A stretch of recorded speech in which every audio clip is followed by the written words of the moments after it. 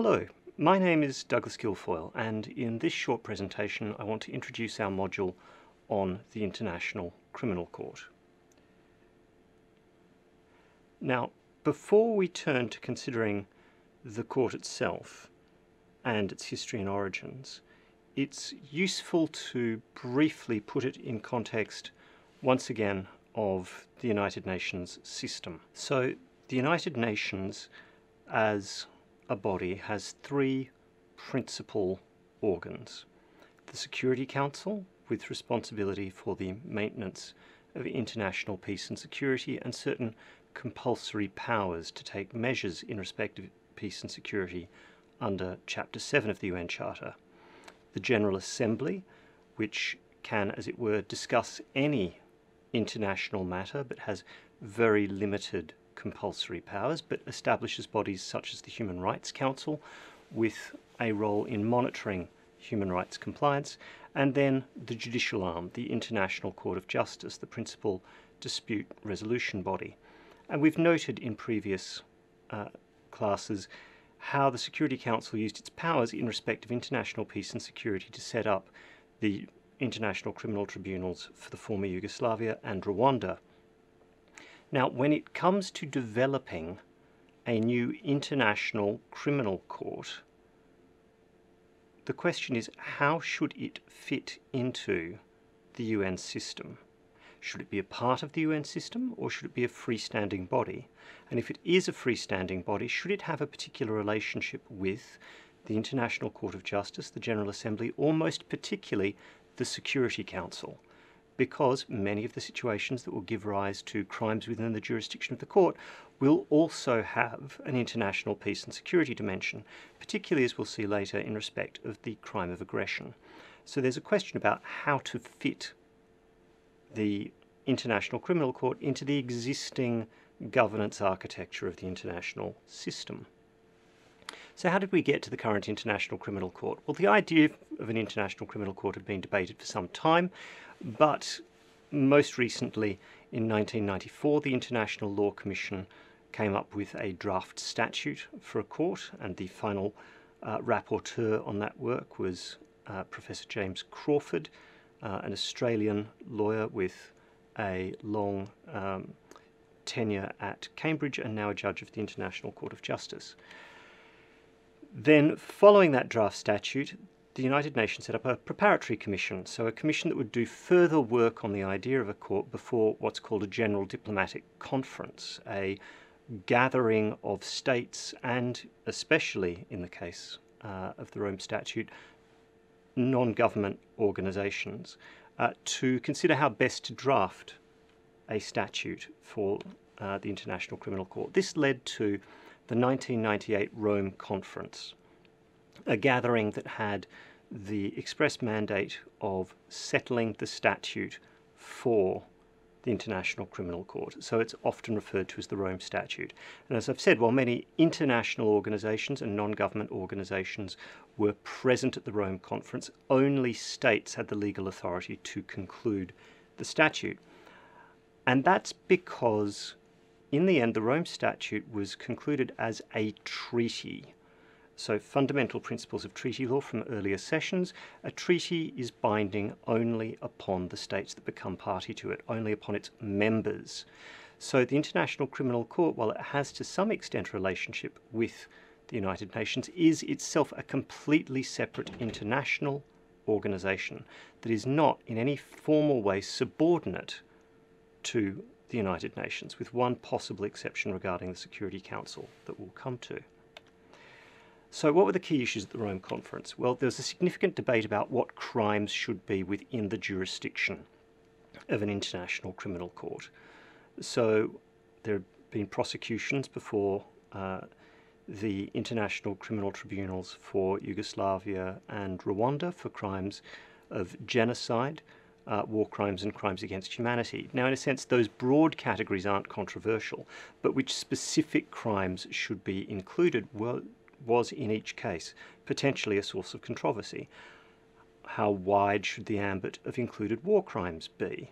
How would one draft the elements required of crimes against humanity?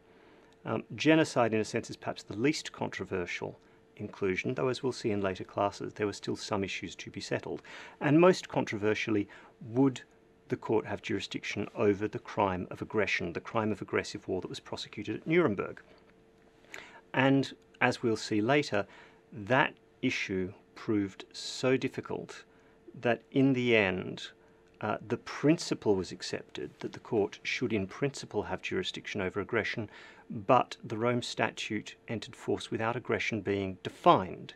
There was a placeholder provision put in the Rome Statute saying that the assembly of the state parties, the gathering of states who became full members of the Rome Statute, would at a later date settle a definition for aggression, which has now in fact occurred. There was also the question of what should be the correct relationship between this International Criminal Court and national courts. So, would it be a court with primacy, a court of primary jurisdiction as the ICTY and ICTR had been, a court which could take cases, as it were, or take priority in cases and remove them from a national jurisdiction? Or should it have a more cooperative or deferential relationship towards national jurisdictions. Uh, in a sense, should it be a court of last resort? Should it only act when national courts cannot? And the word that came to be used to encapsulate that relationship was complementarity. The International Criminal Court should not be have primacy over national jurisdictions, but should complement them. Then there was the question of the role of the prosecutor. Should there be a completely independent prosecutor, or should the prosecutor only be able to act with the supervision of, for example, the UN Security Council, or, perhaps less controversially, organs of the court itself, um, such as a trial chamber? So, a particular concern here from the United States, uh, perhaps more strongly than any other state party to the negotiations, was the possibility of a politically motivated or rogue prosecutor who would bring ideologically motivated prosecutions against uh, nationals of particular states. And finally, there was the question of what to do about the Security Council, given its mandate in respect of international peace and security. That is, it's the Security Council that within the UN system has the primary duty to establish when there have been uh, breaches of the peace, threats to the peace, or acts of aggression, and what international measures should be taken as a response. So, should it, in a sense, always be able to take the lead in these areas and decide whether prosecutions are in the interest of international peace and security or not? And again, this was quite controversial for states who were not permanent members of the Security Council because any large role for the Security Council would, as it were, confer special powers of veto on the five permanent members of the Security Council, the victors in uh, the Second World War, being um, the United States, the United Kingdom, France, Russia, and China. Why should these five states, the permanent members of the Security Council, be given particular veto powers over the operation of a completely separate international body? So we then come to the question of all right, we've negotiated the Rome Statute of the International Criminal Court. What does the ICC have jurisdiction over? So, it has jurisdiction over persons for the most serious crimes of international concern, as Article 1 tells us. And that translates into jurisdiction over genocide, crimes against humanity, war crimes, and aggression under Article 5. Although, as we've noted, Article 5 originally contains a placeholder. Aggression cannot be prosecuted until a definition is settled at a later date. Now, other than these uh, first questions of, as it were, gravity and the covered crimes, there's a temporal limitation. So the ICC can only prosecute acts within its jurisdiction that occurred after the statute enters force. And we'll recall from earlier sessions that under the law of treaties, there is a distinction between signature of a treaty text, ratification of a treaty text, formal consent to be bound, and then the treaty coming into force and having force of law, which is normally dependent on a certain number of ratifications being achieved as set out in the treaty itself. So The Rome Statute only enters force on 1 July 2002, and that, as it were, is the start date for its temporal jurisdiction. Then it also has jurisdiction only where a member state is the territorial state where the conduct physically occurred, or where a member state is the state of nationality of the alleged perpetrator. Now, uh, that's spelled out in Article 12, and we'll note later the capacity for non state parties to opt into the court's jurisdiction under Article 12.3. Um, now, in addition to these limitations on subject matter jurisdiction, temporal jurisdiction, and the territoriality and nationality principles, the court is said to have a complementary jurisdiction to national courts. That is, the International Criminal Court will only have jurisdiction where a state with jurisdiction is unable or unwilling genuinely to carry out an investigation or prosecution. So there is, in effect, a presumption against the ICC taking jurisdiction unless that unable or unwilling test is made out.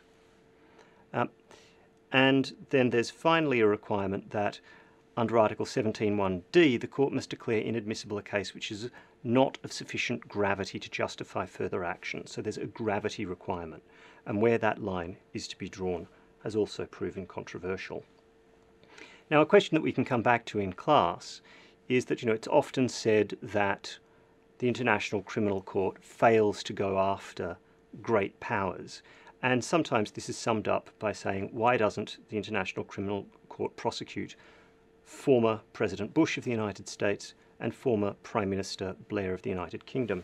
And the incidents normally thought of are military action in Afghanistan uh, following the events of September 11, 2001, and following the uh, invasion of Iraq in 2003. And this can lead to a number of technical questions. What crimes might be applicable? Well, if we're thinking about the invasion of a country, the first crime we might think of is aggression. But remember the Rome Statute entered into effect without a definition of aggression in place. Would the ICC have jurisdiction? Well, certainly in respect of crimes committed on the territory of Afghanistan and Iraq, we have to ask when did those states become parties to uh, the ICC statute? And if we're thinking about nationals, if we're saying that certain high leaders or generals could be prosecuted for decisions uh, that they took in the course of those conflicts, we have to remember that the uh, United States of America never became a party. So, of the two jurisdictions, only the United Kingdom would be bound by the Rome Statute. And then we have to remember that there's the question of activation date, that we could only look at, at crimes after 2002, any alleged crimes. So one can go through a number of these uh, incidents uh, or examples and ask, well, on what basis would the International Criminal Court exercise jurisdiction or not? And we'll look at some of those real world examples in class. But we should note that the International Criminal Court has in fact begun, for example, investigations into whether member states of the ICC were involved or implicated in international crimes in Afghanistan, but only in the course of conflict in Afghanistan after 2002. And we can also ask the practical question does the ICC ever prosecute great powers? What might be the obstacles to it, uh, not just legally but politically, in conducting such cases? All right, now there's the further question then of all right, these are the things within the jurisdiction of the court or its limitations upon jurisdiction. But how might cases actually commence? And typically, analysis of the court uh, is conducted in the language of there being three trigger mechanisms. So Article 13 talks about the exercise of jurisdiction. If the court has, in theory, jurisdiction, when can it be exercised?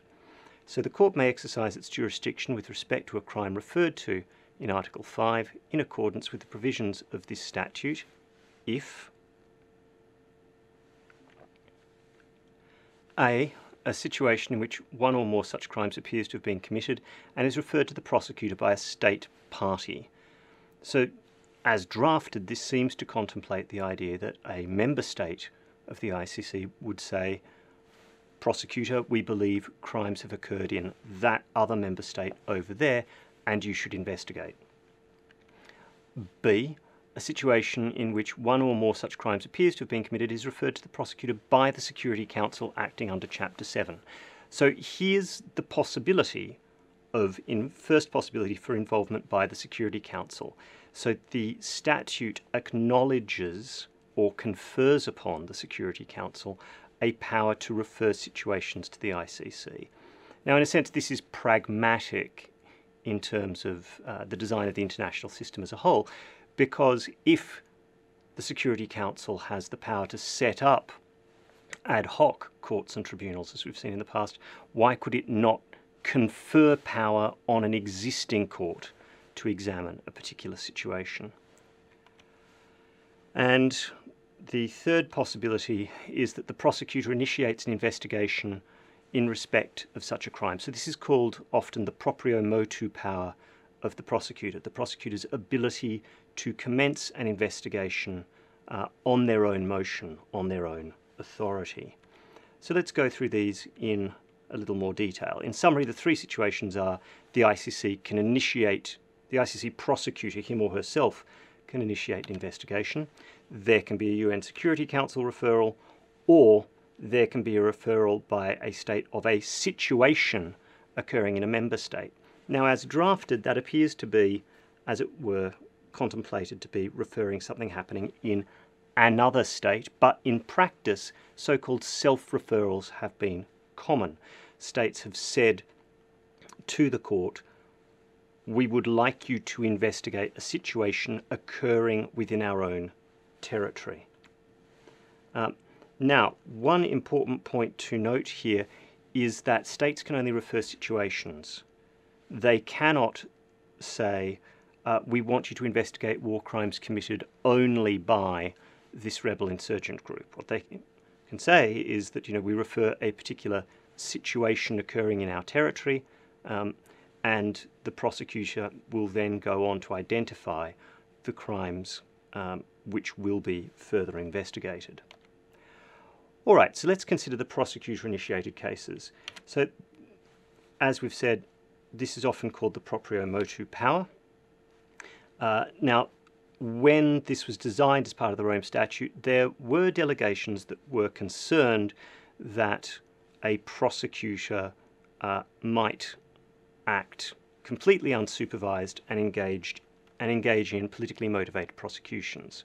So, therefore, to use the proprio motu power, the Office of the Prosecutor, or the OTP, has to have the authorization of an ICC pre-trial chamber. And that means that the prosecutor has to persuade the pre-trial chamber that there is a reasonable basis to proceed with an investigation. Um, further, the prosecutor is limited um, by the bounds of complementarity, and we'll go into that in more detail in class outside these video lectures.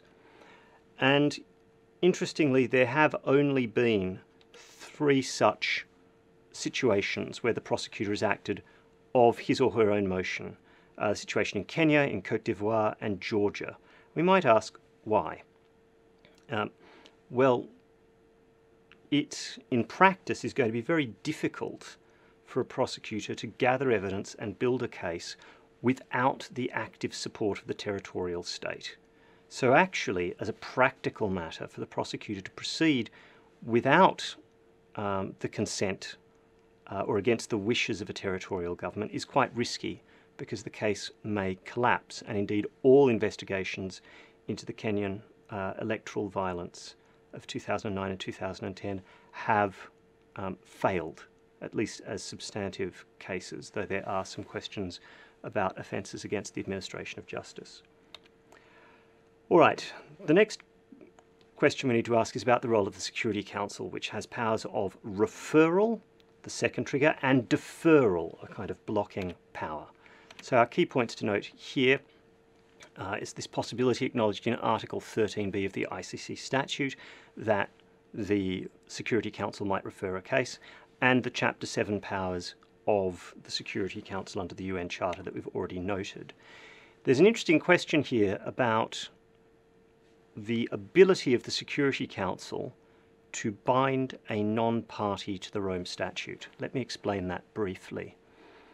So, the first principle of the law of treaties is that treaties have no effect for third parties. They bind only their members, and that includes all the provisions of the Rome Statute, not only about crimes, but investigation, uh, detention, immunities, arrest and surrender, the whole thing. But if the Security Council can set up an international court or tribunal with compulsory powers, saying, in effect, all members of the UN are bound under Chapter 7 to cooperate with this court and tribunal, then the Security Council can use those same powers to say members of the United Nations are bound by, for example, the Rome Statute.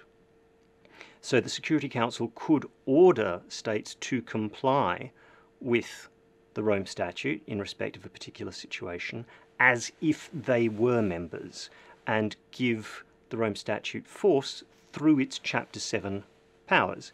So this is exactly the same in a sense as setting up a new Chapter 7 court or tribunal, except you're simply, as it were, cloaking the International Criminal Court in Chapter 7 power. Um, so, in theory, the Security Council could do that, but the question as to whether it has done so in any particular case will be a question of the wording of that Chapter 7 resolution. So it's possible that the Security Council could have quite wide ranging effects uh, upon the obligations of a non member of the International Criminal Court. All right. Um, Article 16 of the ICC statute also contemplates that the Security Council can request a deferral for 12 months of any possible uh, investigation arising out of a particular situation. Um, now, that has occurred in a limited number of cases. Um, so, Article 16, the deferral power has been used uh, on a handful of occasions uh, but not recently. So it was originally feared that the United States might try and use Article 16 through the Security Council to block ICC investigations in a range of situations. But the effect of the resolutions listed there is simply to say that, uh, somewhat controversially, that in respect of certain peacekeeping operations, the International Criminal Court should not act, that any disciplinary investigations would be left to the sending states of peacekeepers. And the legal effectiveness of that attempt to use Article 16 uh, was controversial, but it has not been a long running issue. There have also been a number of Security Council referrals to the court uh, under Chapter 7, particularly uh, the referral of the situation in Darfur, Sudan in 2005, and the situation in, arising out of the Libyan civil war in 2011. Now, we then have the state party referral mechanism, the so called third trigger. Uh, so, under Article 14.1, the state party may refer to the prosecutor a situation in which one or more crimes within the jurisdiction of the court appear to have been committed requesting the prosecutor to investigate the situation for the purpose of determining whether one or more specific persons should be charged with commission of such crimes. Uh, so, further, uh, under Article 12.3 of the ICC statute, a non state party may accept the jurisdiction of the court with respect to a crime in question. So, a um, non state party may refer a particular situation to the court, as Cote d'Ivoire did in 2003 and as Palestine did or attempted to do in 2009 before it became a member of the court in 2015. And by far the largest number of cases has come to the court through self referrals by member states, states saying, we request that the court investigate situations occurring within our territory. Such states include Uganda, the Democratic Republic, of the Congo, the Central African Republic, and Mali. All right, we now need to consider the organs of the court in a little more detail. So we often speak of the prosecutor, but the body established under the International Criminal Court statute is the Office of the Prosecutor, or the OTP. So the OTP is one arm of the court, along with the chambers, the judicial chambers of uh, the court, consisting of a pre-trial chamber, a trial chamber, and an appeals chamber, and the registry, which provides the court's administrative services. Um, so largely in this course, we're going to be referring either to the Office of the Prosecutor or the chambers. So uh, the pre-trial chamber, trial chamber, and appeal chamber. So the prosecutor, our questions are uh, when can she act? What duties does she have? What standards of proof are required of her? And what policies might guide decision making? So let's turn to the question of when can the prosecutor act? So we've said that there can be cases of state or security council referral, uh, that she can act on the basis of her proprio motu powers, though those are subject to pre-trial chamber supervision, particularly Article 53.1 on commencing investigation. Um, and one of the uh, further roles of a pre-trial chamber will be in shaping the document containing the charges. So when a prosecutor uh, indicts someone before the International Criminal Court, they will issue the document containing the charges. And the idea here is that uh, the case to be made out and the allegations made against a defendant will be set out in that document, uh, and the details are found in Article 61. And in a sense, the pre-trial chamber gets to say or gets to confirm how the case should be run, what will need to be proved. Nonetheless, and unfortunately rather cumbersomely, it has been the case that often trial chambers have allowed substantial amendment of the documents containing the charges, uh, or even recharacterized them, as has occurred in the Lubanga and Katanga case. But we'll come back to that.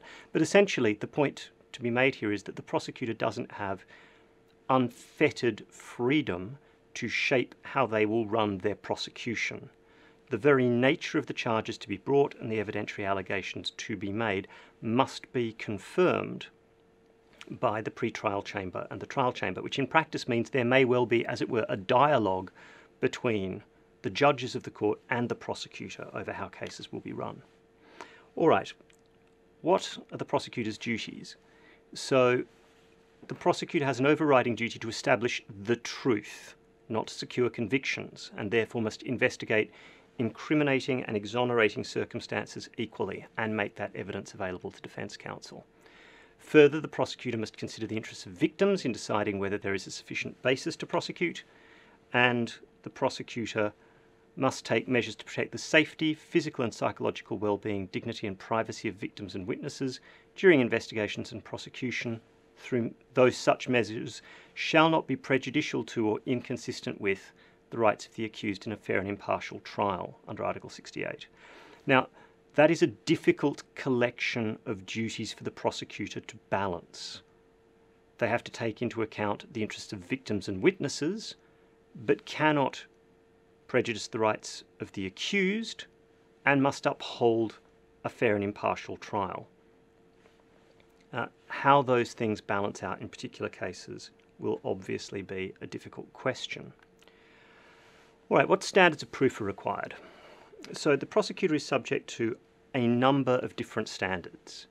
So to launch an investigation under Article 53, the prosecutor, if acting under proprio motu powers, has to establish a reasonable basis that uh, a reasonable basis to presume that crimes have been committed and an investigation is warranted. But to issue arrest warrants against particular individuals, you have to show reasonable grounds and that those arrest warrants are necessary, for example, to prevent a suspect fleeing or committing further crimes. Uh, confirmation of charges in the document containing the charges will only occur where there is sufficient evidence to establish substantial grounds to believe the crimes have been committed and at trial to secure a conviction, the prosecutor must have proof beyond reasonable doubt. So what can be seen here essentially is that at different stages of the investigatory and prosecutorial process, different and increasingly high standards of proof apply. Now this led to a strategy under the first prosecutor, uh, Mr. Moreno Ocampo, of so-called um, focused investigations. So here the idea was that the investigations would be conducted on a rolling basis, gathering more evidence as they went forward, the aim being to meet each of these thresholds as quickly as possible in order to mount cases quickly.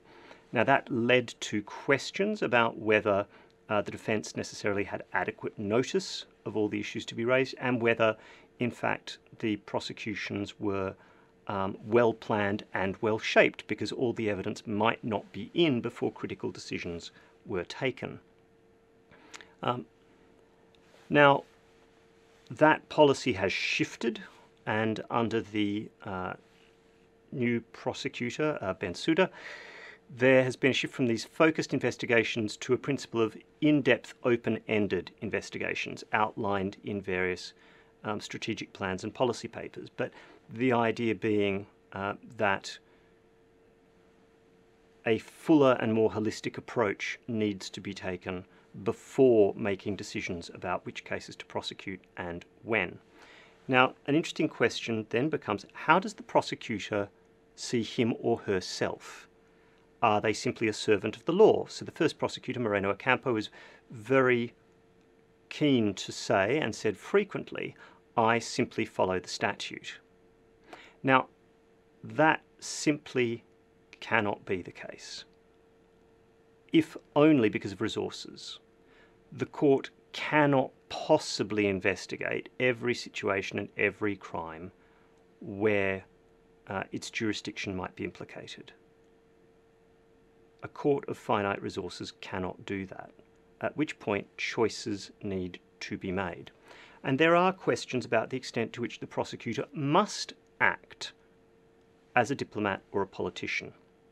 So, for example, uh, it one way of understanding the early approach of the first prosecutor was, in a sense, that the court had to act in a manner that would reassure permanent members of the Security Council that it wasn't going to be an immediate threat to gain its trust and cooperation. And indeed, there has been much more cooperation with the Security Council over time than one would have perhaps presumed from the initially antagonistic relationship between the court and, its, the court and the United States. Um, and also, while there's been, while I've noted a significant number of self referrals as part of the court's workload, Ocampo, uh, Moreno Ocampo, the first prosecutor, made it plain to the Assembly of State Parties that if they, states were to refer their own situations to the court, he would not need to use his proprio motu powers, which certainly looks like an effort to persuade in the manner of a diplomat or a politician. Now, this is not to say it's all been smooth sailing. Uh, particularly, the first prosecutor had a number of um, situations where there was tension between the office of the prosecutor and the pre-trial chambers and trial chambers. Um, now, we've seen, uh, and similarly, the second prosecutor has encountered these issues as well.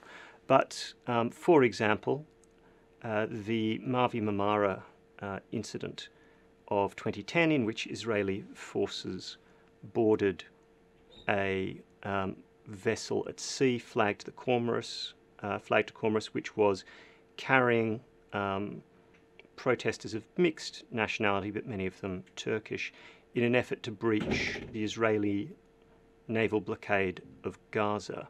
In the course of that operation, um, a number of protesters were killed and significantly more were injured. Comoros was a member, is a member of the International Criminal Court, and the events occurred on its flagged vessel, a vessel enjoying its nationality, and so the territorial principle of jurisdiction applied. So Comoros referred the incident to the prosecutor, and the prosecutor determined that there was not a basis, sufficient basis on which to proceed, um, and did so on the basis of Article 53. So Comoros then challenged the prosecutor's decision not to uh, proceed and asked that the pre-trial chamber review that decision.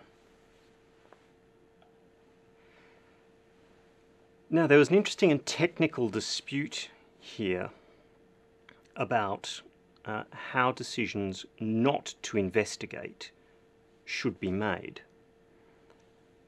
Now, one ground for not opening an investigation was that the case would be inadmissible under Article 17, and we'll go into admissibility under Article 17 more in class. But essentially, the prosecutor could um, decide that uh, a case would be inadmissible, including on grounds that the crimes alleged of insufficient gravity.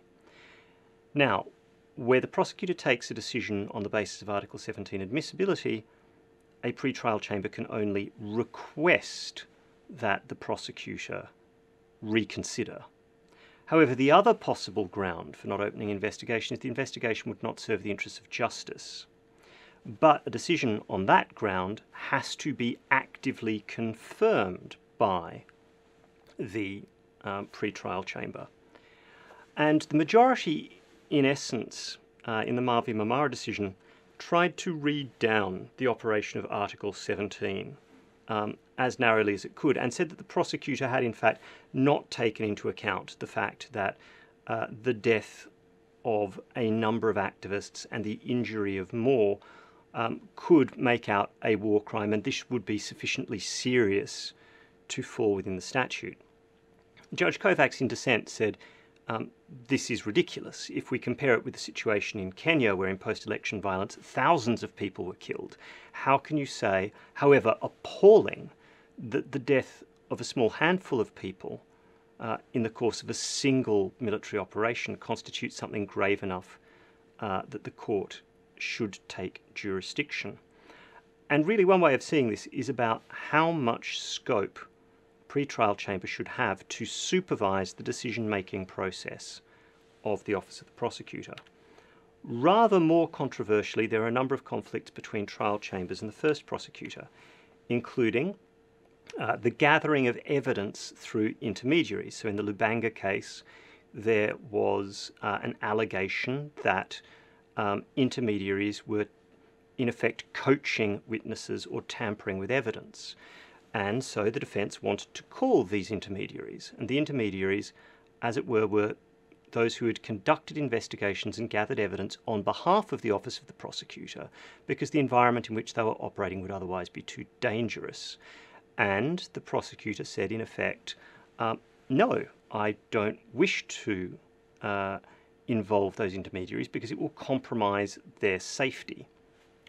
Uh, similarly, uh, there is um, a power under Article 54 of the ICC statute, again used in the Lubanga case, um, for the prosecutor to gather certain evidence on terms of confidentiality, particularly from international organisations, but only where the purposes um, of that evidence will be to, as it were, lead to new evidence. But there's no intention to use that evidence in the case of itself uh, so-called springboard evidence.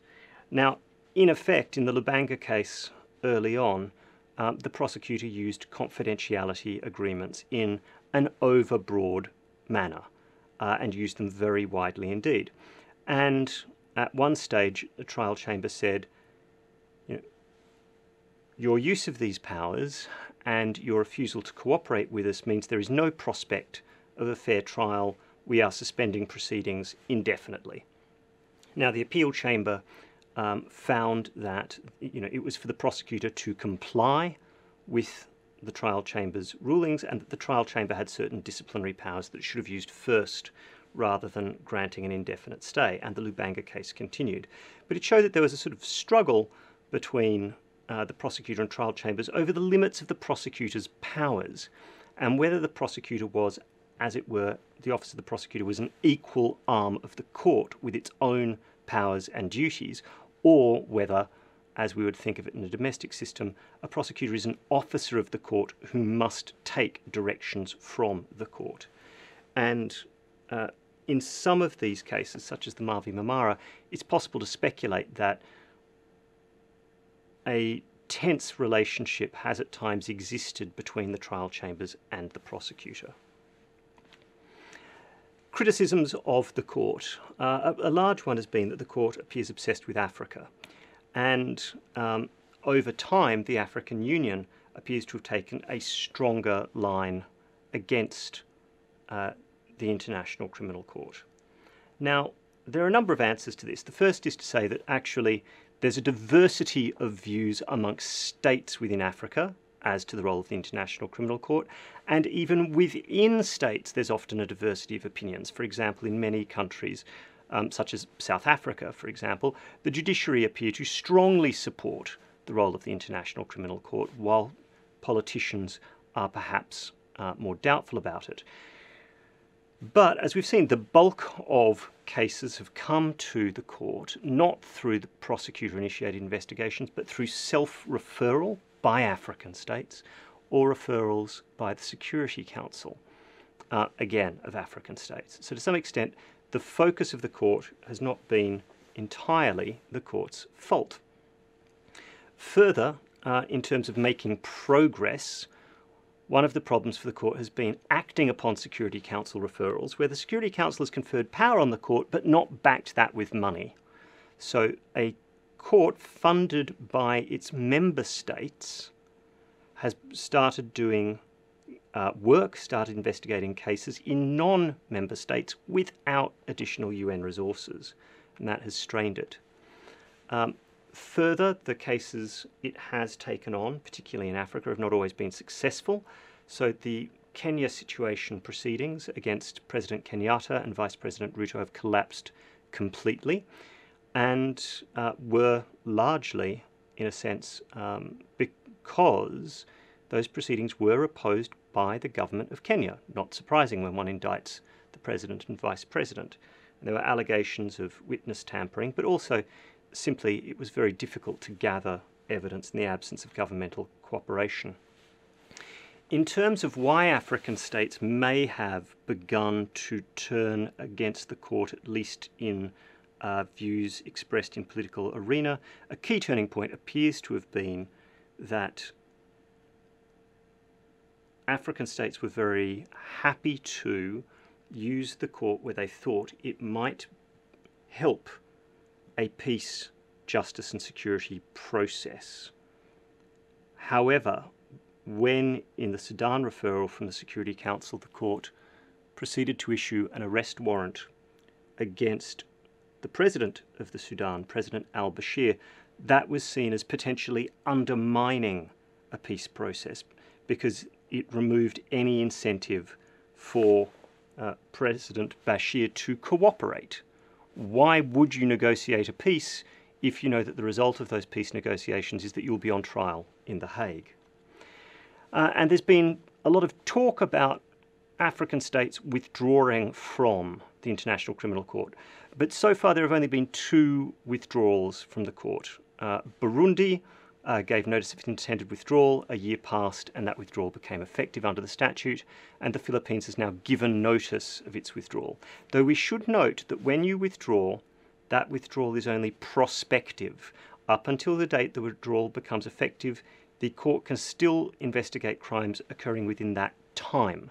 So its temporal jurisdiction becomes bounded, but it will still have jurisdiction. Numerous other states have suggested they might withdraw from the Rome Statute, South Africa, the Gambia, Zambia, Kenya, and Uganda, but none of those have succeeded yet. And in particular, in South Af- the South African case, uh, the purported withdrawal by the South African government was found to be um, unconstitutional by its courts. So the Rome Statute is now 20 years old, and one of the questions is whether the court itself is in crisis. So there's been considerable academic controversy about a lot of its case law there have been quite contentious interpretations of provisions of the statute, dealing with, for example, the immunities of heads of state, such as President al Bashir, how to correctly interpret the modes of liability that tell us when someone is sufficiently connected with a crime that they can be charged with it. Uh, the scope of the discretion of the prosecutor, as we've seen, the correct definition of the elements of crimes against humanity, the correct test for command responsibility, and so on, have all generated a lot of academic debate. But perhaps in a young court, we'll expect to see those issues of jurisprudence evolve over time. Perhaps more damaging to the court's authority is that um, President al Bashir has now, for the better part of a decade, been completely free to travel in Africa despite having an ICC arrest warrant out against him. Uh, and if the court cannot secure uh, the presence of those it indicts, um, that would seem to be a blow to its authority. A significant controversy arised, arose late in the Katanga case, where the prosecution had run a case that Mr. Katanga was directly responsible for having committed certain crimes, but the evidence did not make out those charges. So, after all the evidence had concluded, the trial chamber announced that it would use Regulation 55 of the court's rules to recharacterise the case and would consider Mr. Katanga's liability not, as it were, as a direct perpetrator of crimes, but as an aider and abettor. Now, that was terribly controversial because it affected the defence Mr. Katanga should have run, and no opportunity was given for further submissions, and indeed, the trial chamber went on to convict Mr. Katanga as an aider and abettor, and whether that constitutes a fair trial is something that's been fiercely debated. However, perhaps one of the biggest um, problems for the court's uh, authority or image or confidence in it has been its expense versus its tangible achievements. So it has been in operation concretely for more than 10 years, since 2007. It's had an annual budget in that time of between 80 and 140 million euros, that budget increasing each year. It has a staff of some 800, and in that time it has secured three, I'm sorry, four convictions in total, but one overturned uh, on appeal. And uh, in particular, there's been a very strong reaction to that first acquittal, the Bemba acquittal.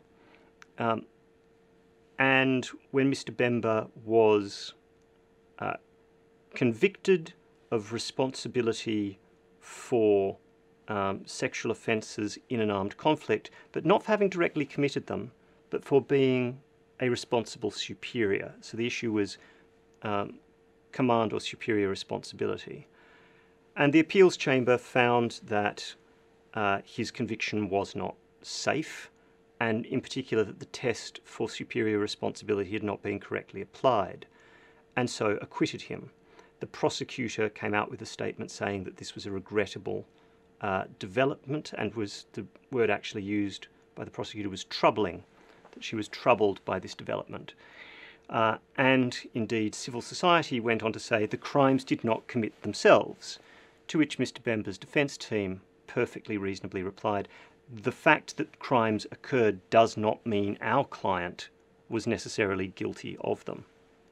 And indeed, the outcry was such that the president of the International Criminal Court, as it were, the Chief Justice of the International Criminal Court, had to make a further statement, as it were, um, rebuking the prosecutor.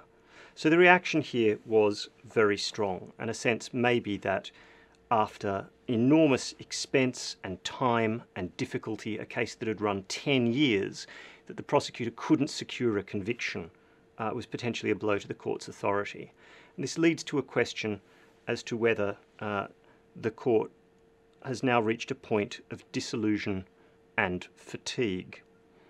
Uh, so, on that slightly less than optimistic note, we'll take up the conversation again in class, uh, where we can consider whether there is um, cause for optimism uh, for the court's future going beyond 20, or whether indeed it is presently mired in crisis.